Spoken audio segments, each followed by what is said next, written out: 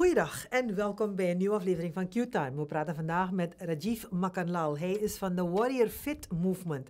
We gaan kennis maken met hem en uh, hem de gelegenheid geven om ons te vertellen over zijn organisatie. Eigenlijk is het zijn beweging, letterlijk en figuurlijk, Warrior Fit Movement. What we is a little Q-Time. Dag Rajiv, hoe gaat het met jou? Nou, Odette, met mij gaat het goed. Ik zit uh, lekker op de vloer hier. Ja. Inside joke, oké. Okay. Yes. Very Warrior. Ik zie daar Warrior Forever op je trui, Warrior Forever op je banner. Uh, je bent van de Warrior Fit Movement. Voordat we daarover gaan praten, laten we eerst even kennis maken met jou. Vertel ons wat meer over jezelf. Wel, uh, mijn naam is Rajiv. En Rajiv Makhanlal. En ik ben ja, ik ben 37 recent geworden. Ik heb, uh, getrouwd. Ik heb twee uh, mooie meisjes. Eentje van 10 en eentje van 6. En ik ben getrouwd met Farah.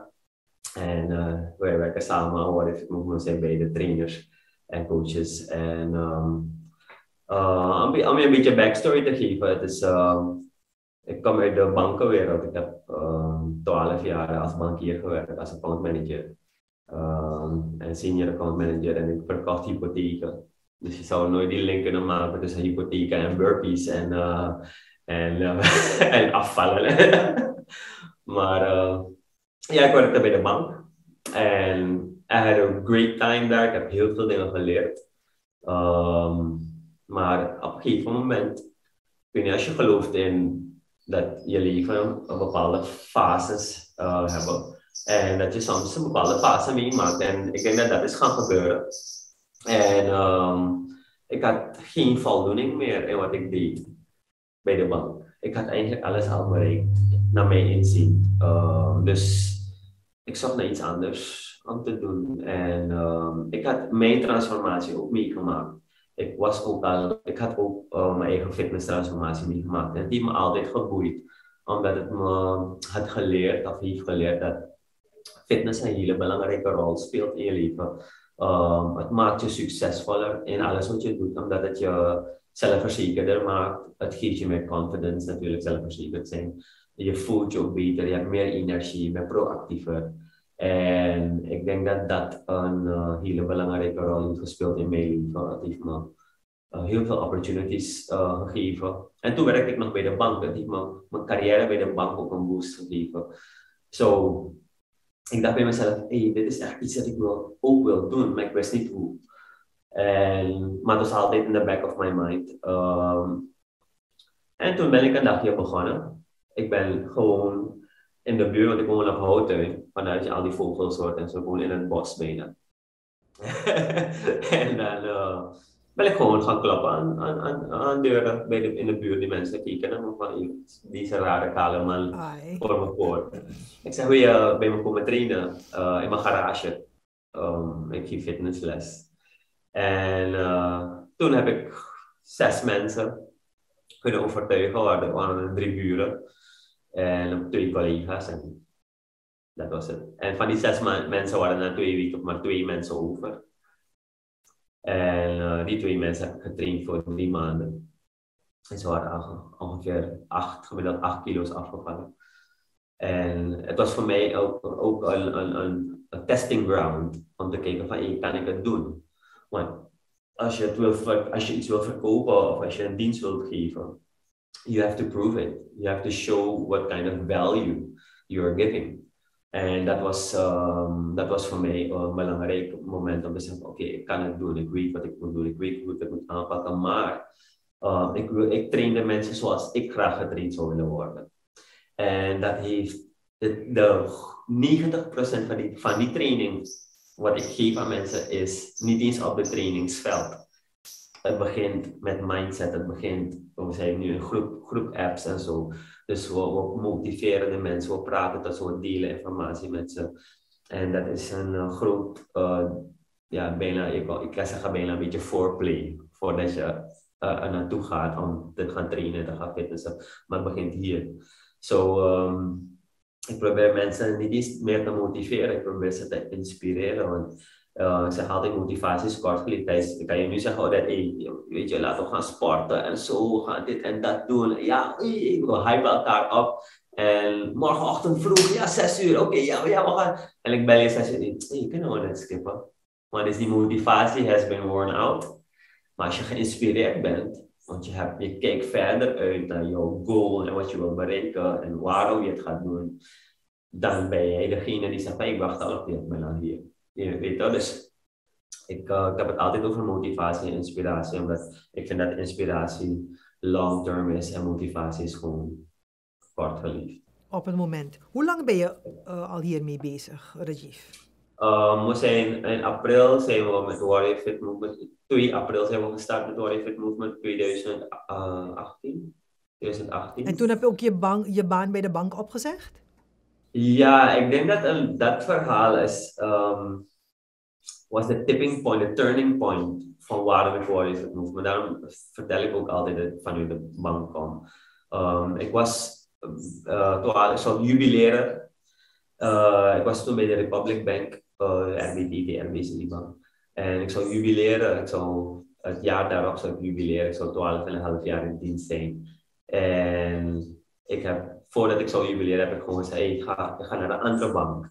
Ik ga, ga weg, want ik wilde eigenlijk een andere rol zijn. Maar dingen zijn niet gegaan zoals ik had gehoopt. En ik ben toen gezegd, ik heb toen gezegd, weet je, no, no hard feelings. Ik ga naar een andere bank, een andere uitdaging. Misschien is het, weet je, is het goed om in een andere, op een andere locatie te zijn.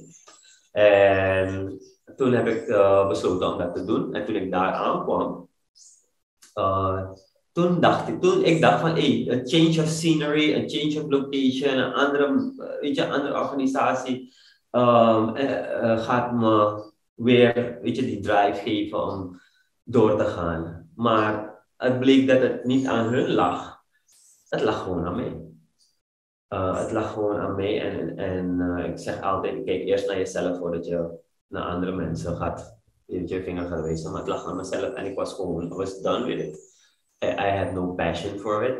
I had no love for it anymore. Het was dus steeds hetzelfde ding weer dat ik moest doen. En het moment dat je opstaat en je zucht om naar het werk te gaan, dan denk je bij jezelf, dan is dit niet wat je moet doen. Meer. So it's, it's the end. En toen ik daar aankwam, I had to prove myself all over again. En het was niet, weet je, het, het, lag, het lag aan mij. En ik dacht van, weet je, ik heb, er, ik heb er geen zin meer in. En ik zei, ik belde mijn vrouw op en ik zei tegen haar, weet je, schat, ik kan niet meer. En weet je, er zijn zoveel dingen die je bezighouden. Je hebt een hypotheek, je hebt kinderen, je moet je, je, je rekeningen betalen, je hebt een autoschuld, je hebt al dat soort dingen. En we hadden een klein appartementje op het erf van mijn ouders gebouwd. Uh, met de bedoeling dat we misschien zouden verhuren. Maar het is een eenkamerwoningje. Uh, en toen hebben wij besloten zijn we, hebben we besloten om daar te blijven. Om kosten te dekken, om kosten te besparen. Maar toen zei ik aan mijn vrouw van, hey, um, weet je, als ik nog een dagje langer hier ga werken, ga ik gewoon, ik weet niet wat ik ga doen, maar ik ga gewoon stoppen. Ik kan niet meer. En ik zeg, ik wil gewoon met omslag. Ik reed soms rondjes om het gebouw. Alleen om niet naar het werk. Zo erg was het. Ik was zo depressief. You know, het was zo niet goed voor mijn energie. En um, mijn chef toen belde me. Ze zag me rondjes rijden om het gebouw. Ze zei, wat, wat gebeurt met je? Nee, wat doe je? Kom, kom je niet naar binnen? Het is al... Ze zei, ik wil niet. Sorry. Ze hebben met me gesproken, weet je. Ah, ze hebben met me gesproken, ze hebben echt hun best gedaan. Maar uh, toen heb ik mevrouw gezegd, luister, ik ga ontslag indienen. Ga je achter me staan? Ga je, ga je me supporten? Want ik ga, ik ga iets anders gaan doen. Ik ga met fitness starten.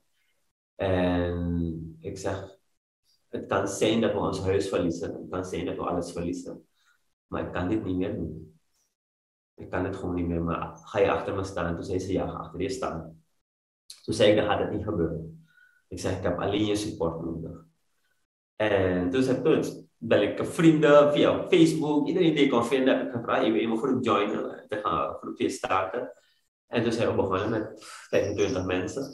De eerste groep, eerste groep, 25 mensen. En um, I didn't even know what I was doing. Ik was wel voorbereid, maar ik was, ik was heel onzeker. En toen ben ik gestart. En het geld dat ik had verdiend, kan ik net mijn hypotheek betalen en mijn paar bills betalen en mijn vrouw zorgen voor eten en drinken en zo. En we bleven in de stad, in het appartement. Niet hier waar mijn huis, want dan kon ik, we, konden, we moesten kosten besparen. En uh, ik werkte, toen heb ik, uh, ben ik gestart met nog een groep. Ik gaf dan zeven dagen in de week les. Van maandag tot en met zondag. En zo is het begonnen. Mijn vrouw gemotiveerd om zelf ook een groepje te draaien hier op Wanica. We hebben een groepje gestart op Noord. Uiteindelijk zijn op verschillende locaties nu. We hebben elf, elf groepen. Um, we zijn op Noord, we zijn op Magenta, we zijn op Quata Leiding, Paramaribo Centrum, um, uh, Kamerwijnen en op Wanica, ligt bij jullie dorp. En uh, we hebben elf locaties en we zijn aan het groeien, we hebben 600 plus leden. En um, uh, we, we, we do a lot uh, of mindset uh, training. We trainen mensen hun mindset, alleen doen we het op basis van fitness. Oké. Okay. ik weet niet als je het door hebt, maar ik heb maar één vraag gesteld, hè? Ja. Sorry. It really is fine. It's a very inspiring story. Yes. Ja, en het is, uh, het is mooi om het inderdaad... Uh, het voelt very close aan, weet je? Dat uh, relateerbaar. En ik, ik hoop dat um, mensen zich kunnen terug um, herkennen hierin. Want ik denk dat een van de moeilijkste dingen is in het leven, is inderdaad je passie vinden. En jij hebt het wel gevonden op je eigen manier. Maar je moet, net wat je zegt, het is in je hoofd. En je moet ook leren luisteren naar je je hart. En soms inderdaad die sprong in het diepe wagen voordat je inderdaad erbij komt. En dat heb jij dus nu gedaan. En ik, ik vind het een heel mooi verhaal. Ons programma duurt maar uh, tien minuten. Dus uh, anders had ik het door laten vertellen. Um, maar voordat ik je laat gaan, wil ik toch eventjes uh, van jou weten. Als er mensen zijn die naar jou hebben geluisterd en daarin zeggen van, hé, hey, wacht even, dit heb ik nodig. Um, dit inspireert me, dit spreekt me aan. Ik wil ook weten of ik ben ook stuck in een rut en ik weet ook niet hoe ik eruit kom. Mag ik naar Rajiv en hoe gaat hij dat aanpakken? Dus ik wil tot slot van jou heel kort dat je uitlegt dat er, een, dat er iemand bij je komt en zegt: Hé, hey, ik heb je verhaal gehoord, ik ervaar hetzelfde. Hoe pak je het aan? Want uiteindelijk gaat het wel om het bewegen. Het is wel een fit worden. Maar eigenlijk zeg jij: het is fit worden in je lichaam en daardoor ook in je geest. Of andersom. Eerst in je geest en daarna je lichaam. Dus hoe pak je dat aan? Vertel ons dat in het kort, tot slot. Ja, ik ga proberen om het heel kort te houden. Het, het, het, begint natuurlijk eerst met een idee, met een gedachte. En ik heb het, die gedachte heb ik gevoed over de zeker een paar jaren. I was just feeding it. Wat ik wil bereiken, wat ik wil zien, hoe mijn toekomst eruit ziet. Praten met de juiste mensen, mezelf omringen met juist de juiste mensen. Praten met mijn vrouw erover. Uh, zij is echt mijn backbone uh, geweest. Dus, dat is heel belangrijk dat je een partner hebt of iemand hebt in je leven die, met wie je kan delen en met wie je samen kan manifesteren. Want hoe meer mensen je om je heen hebt die, met jou, die met jou meedromen en meedenken, ik denk dat dat mij enorm heeft geholpen, gaat het jou ook helpen. Omdat het it's all about energy, it's all about the vibe, it's all about nature. En als je gelooft daarin of niet, God, natuur, anything.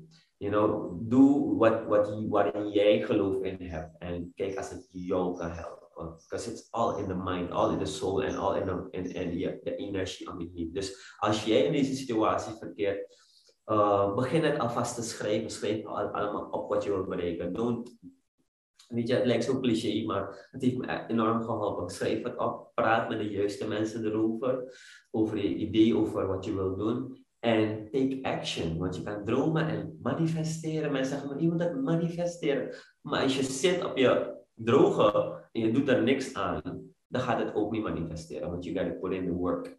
En dat is wat veel mensen onderschatten.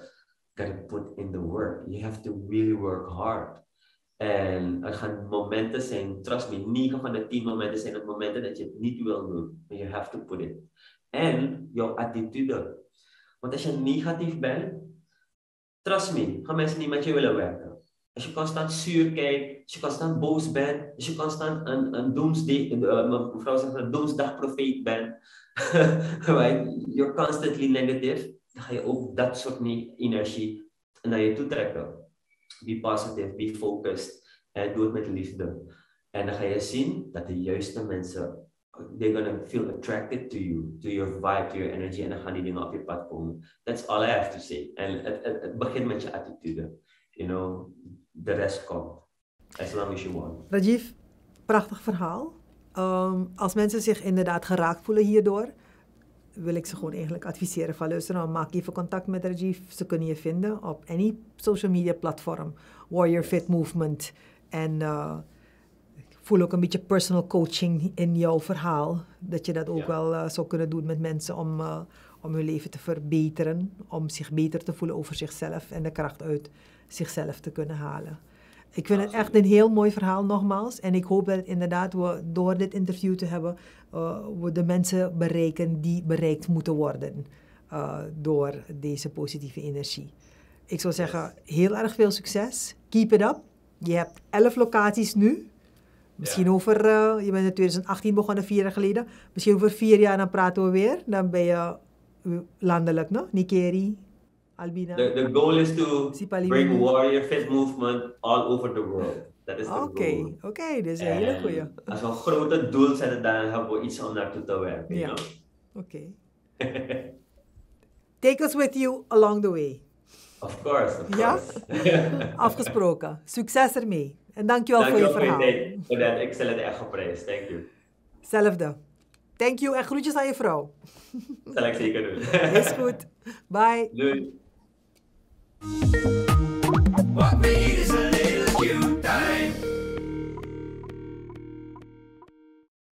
Dat was een uh, zeer inspirerend gesprek met Rajiv Makanlal. Hij is uh, de initiator van Warrior Fit Movement en hij heeft eigenlijk een beetje in het kort zijn levensverhaal verdeeld, gedeeld met ons vandaag. Hopelijk heeft zijn verhaal u ook kunnen inspireren als het nodig mocht zijn. Alles gebeurt uh, met de reden.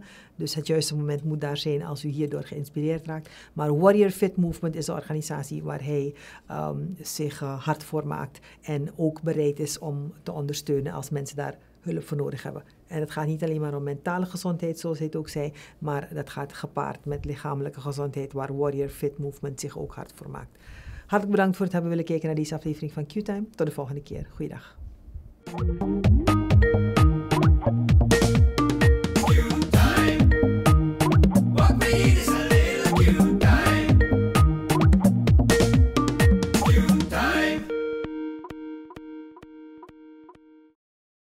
This is another Supreme production. Supreme TV. To entertain, to inform, to inspire.